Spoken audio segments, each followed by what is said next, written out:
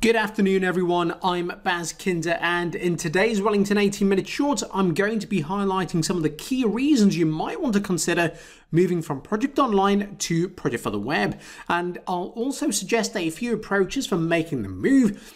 Then at the end, I'm going to share details of how you can access a free consultation to discuss your migration from Project Online. Before that, let's take a quick look at today's agenda.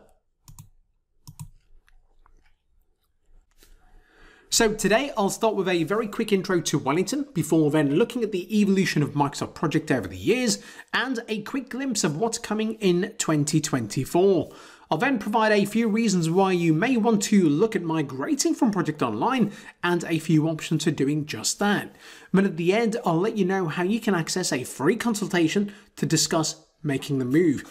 And that's the agenda for today. Before I get into the main topic, I'm going to take a step back and introduce Wellingtone. And first up, I want to tell you about our service guarantee, and that is your project and portfolio management capability will be improved through our services, and that is a money back guarantee. We've been around since 2001. We've got offices in the UK, Ireland, Spain, and India, but we do work globally to support our customers no matter where they are. And you can, of course, learn more by going to wellingtone.co.uk. Okay, let's get into today's topic. And the first thing I want to do is step through the evolution of project to understand where we're coming from in the first place. So, although it's not shown here, Project sprang into life back in 1984, and that was at the same time as Ghostbusters, one of my favourite movies ever. And Project Online was then launched in 2013, and that's when Disney's Frozen was released, and the song Let It Go was seared into our brains, which was fun, you know, for the first few weeks, not so much now. But anyways, let's fast forward to 2019 because that's when Microsoft unveiled Project for the Web, the new version of Project, which was a re-platformed solution built on the Dataverse and designed to be extended with the Microsoft Power Platform.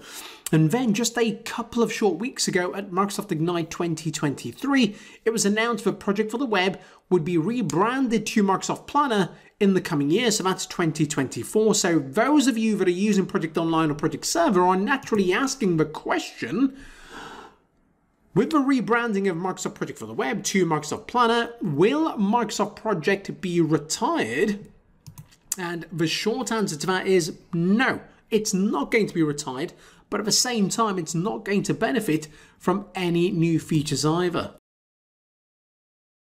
but it's still feature rich and it's because of those features that many people continue to use Project Online and you can see here that it supports everything from ideas capture to project and resource management to the tracking of risks, issues and a lot more. So when Project Online users see Project for the Web in its standard basic guise, they think it's nothing more than a simplified scheduling engine, a lighter version of Project Desktop in the browser. But it's not, there's a lot more to it.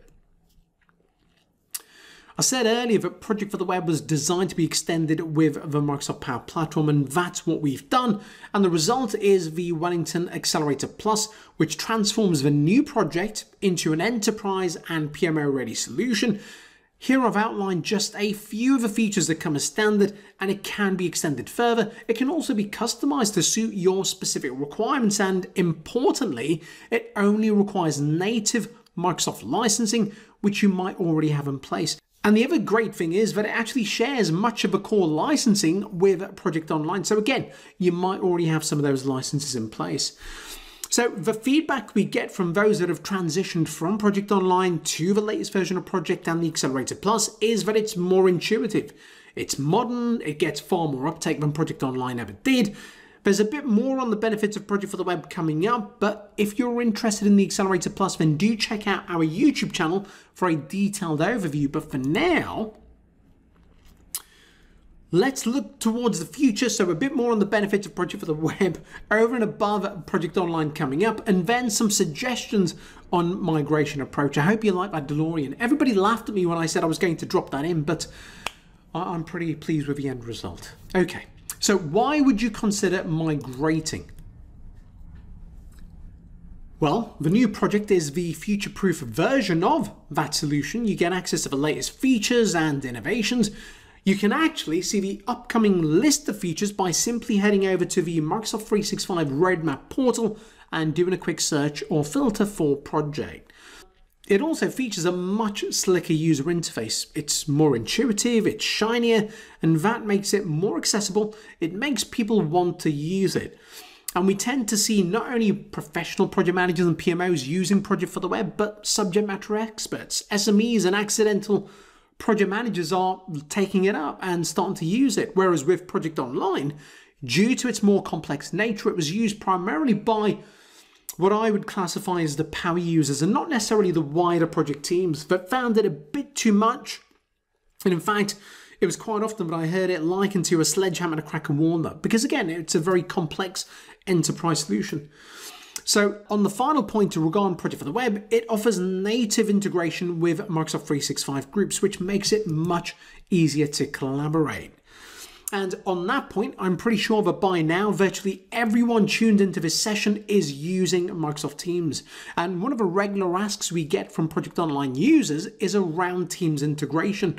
But unfortunately, it's not really an option, whereas Project for the Web was built with better collaboration, team integration in mind. So again, that's already set up, good to go.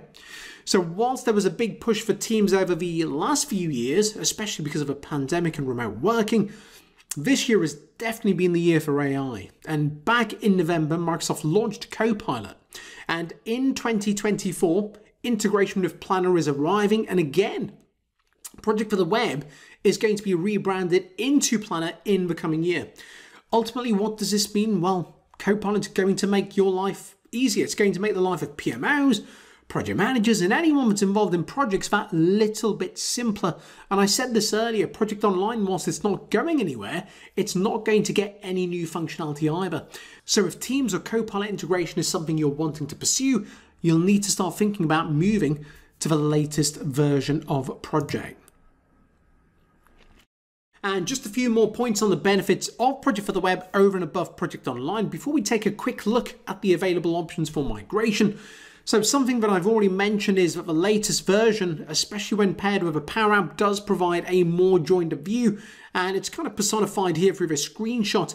And if any of you have already used Dynamics 365, you will see that it looks very familiar because it's again all built on the same platform. A couple of additional quick wins. So firstly, you might be familiar with the notion of EPTs and enterprise project types and Project Online and the SharePoint workflows that you can then layer on top to provide some level of governance. Now, whilst they're functional, they are a tiny bit clunky, I would say.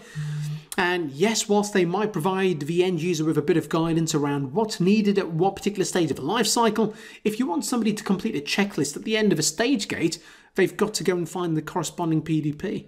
So again, there's a lot of button clicks involved, whereas in Project for the Web, the workflows are based on Power Automate and they're interactive. And you can see an example of a checklist that's linked to a specific stage gate on the screen right now.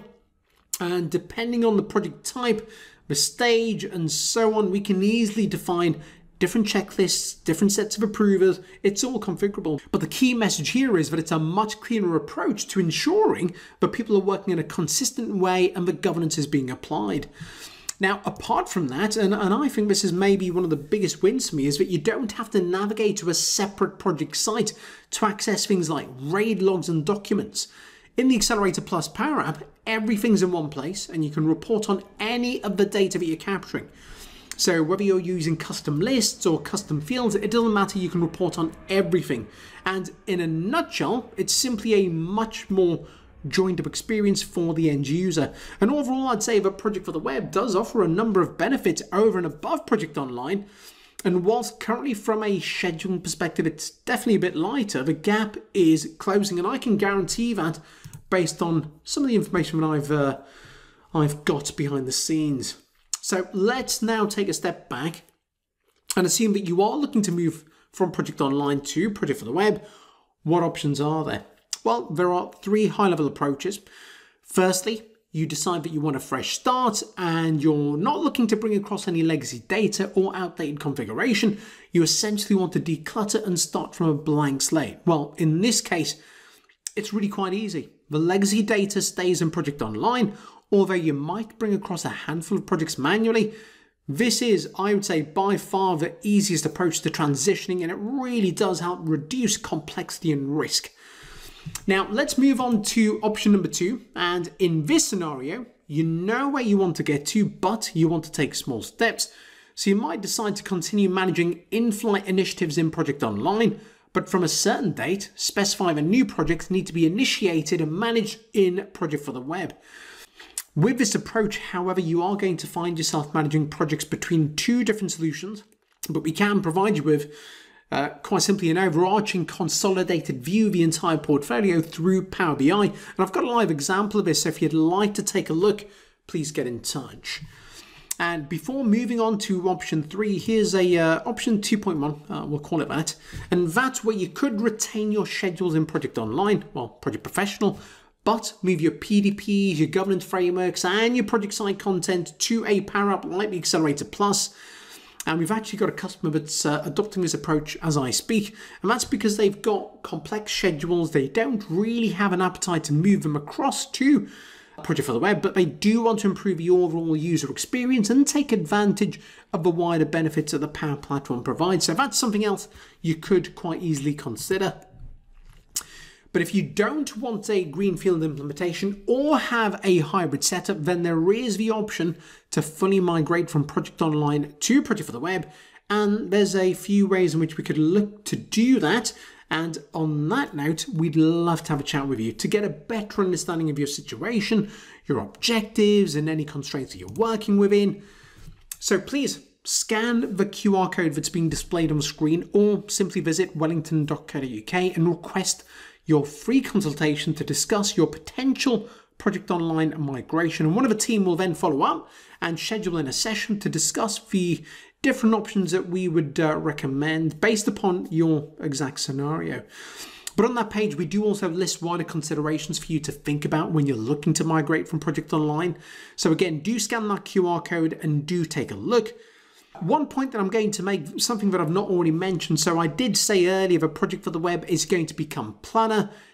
Yes, that's going to happen in late 2024. Even if you deploy Project for the Web now, it doesn't make any difference at all. All you will see in about a year or so is that Project for the Web is going to be rebranded into Planner. It's going to have zero impact. But look, moving on, I'd love to hear from you guys, and I'm sure you've got questions, so please get in touch. Drop your questions to me via baz.kinder at wellingtone.co.uk. You can also find me on LinkedIn. Just do a search for my name or scan that QR code. That'll take you directly to my profile.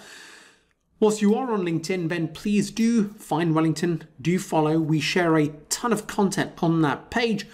And lastly, do check out our YouTube channel. This video, amongst many others, do end up there. So again, go and take a look. And whilst you're there, please do subscribe and ding that notifications bell. But guys, I hope you found this useful and I look forward to hearing from you. Thank you very much.